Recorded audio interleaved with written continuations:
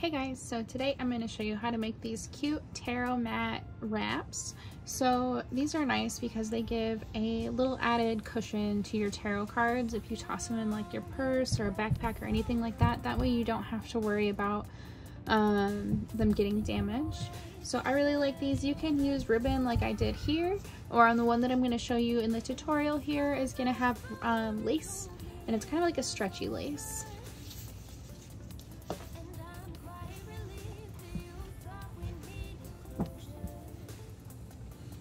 I really liked this floral pattern, so I decided to go with that for this one. Um, but it gives me a nice mat here. I can either use it on this purple side here, or if I wanted to, I could use it on the floral side, whatever I'm feeling that day. So it gives me a little bit of flexibility with what I'd like. And it keeps your cards nice and safe in here.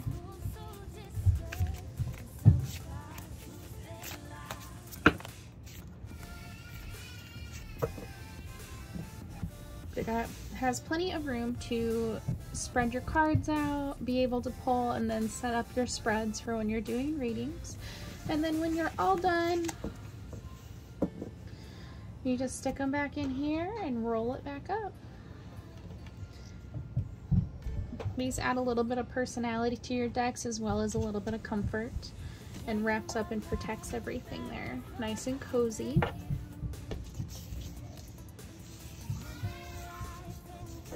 And then you've got just a little bit of ribbon here and you tuck it in right in here. All right, so what you're gonna need for the tarot mat, you're gonna need two squares of fabric.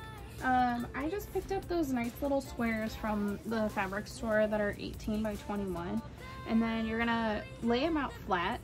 You're gonna put them where it's the nice side together. And then you're gonna pin them together. I feel like these are a nice size, so you can find a lot of different fabric for pretty cheap to be able to do this.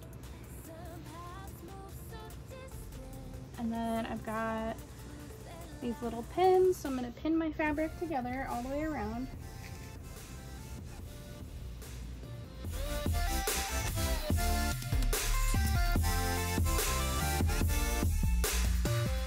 And then when I'm sewing it, you're going to want to make sure that you leave like a little opening so you can flip it the correct way.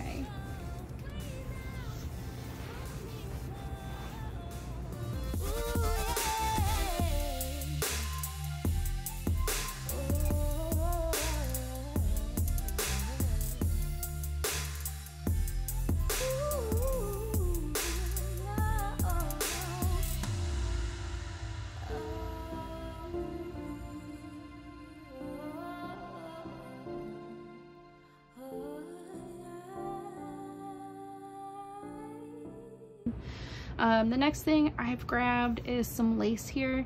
I'm going to use this as the tie for the bag. So I'm going to find my short side here and what I'm going to have to do is I'm going to stick this all the way in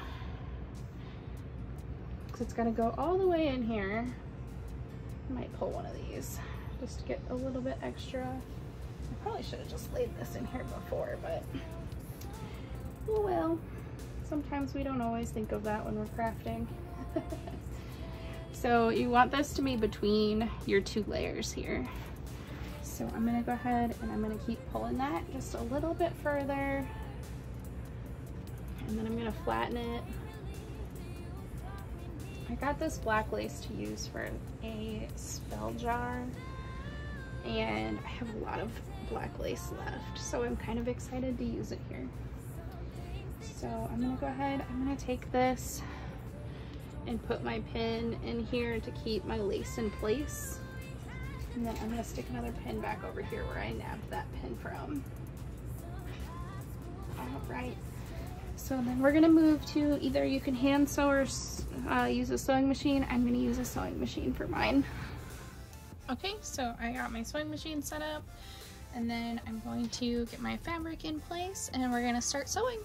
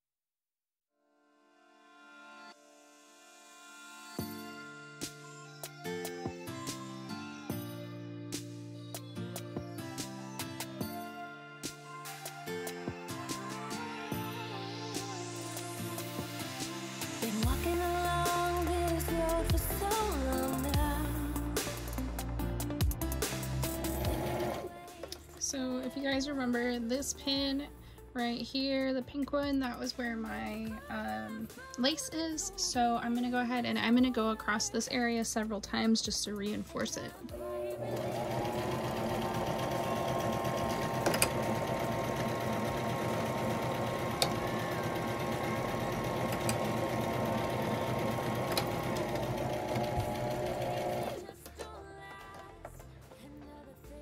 Don't have to worry about it coming out.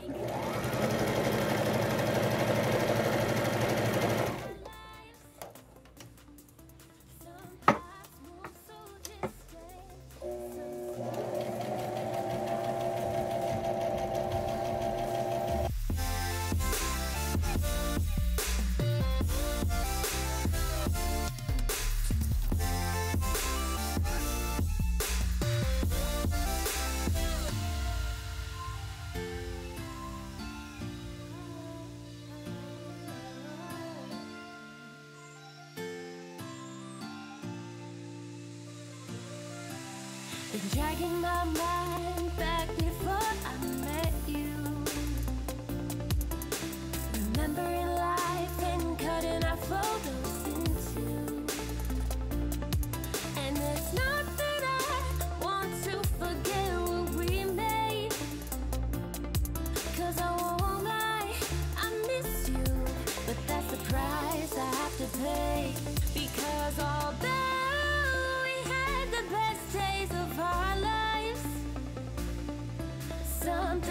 just don't last, and other things don't feel right. Because although we had the best years of our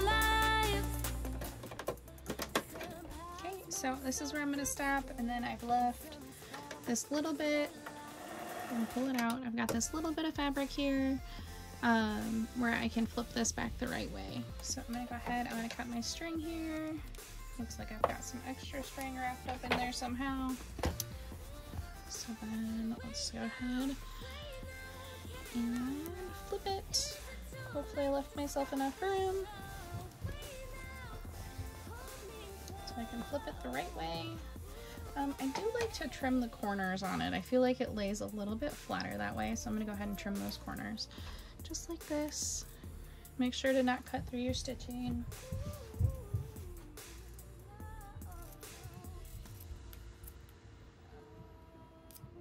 Doesn't have to be pretty. It's just gonna help your fabric or your thing lace flatter, I guess, your corners. Okay, so now I have got my mat flipped the correct direction, but I still have to close up that hole. Um, I wasn't really thinking this time when I started out my stitch and I stuck it in the corner. Um, usually I try to stick it somewhere in the middle so it doesn't stand out as much, but since this is a personal mat, that's okay. I'm not gonna sell this one. Um, so I'm gonna go ahead and I'm gonna stitch up this corner here real quick.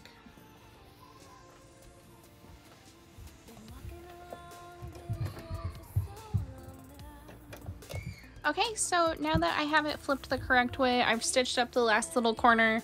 Um, we are completely set here. Some people do like to iron the seams here to give it a crisper look. I'm okay with not ironing it because I know it'll work itself out over time. I may end up ironing it in the long run, uh, but that's okay. So I can either have it out like this with the floral side out, um, or I can flip it and have the black side out here Some things they just don't last, and other things don't feel right.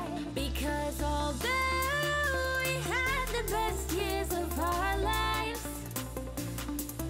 some paths move so distant,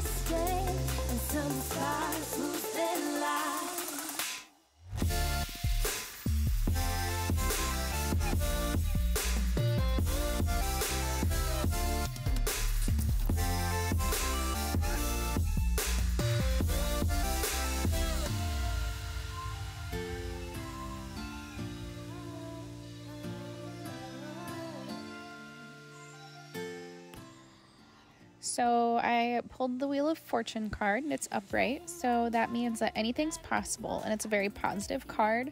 Um, you may come across some chance meetings, unexpected offers, and news arrive in force. If life has been difficult recently, the wheel shows a turn for the better.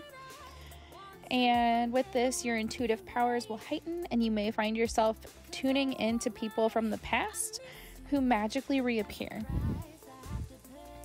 Additionally, the wheel reveals psychic ability either within you or someone close, and a chance to discover all of your hidden aspects, both light and dark.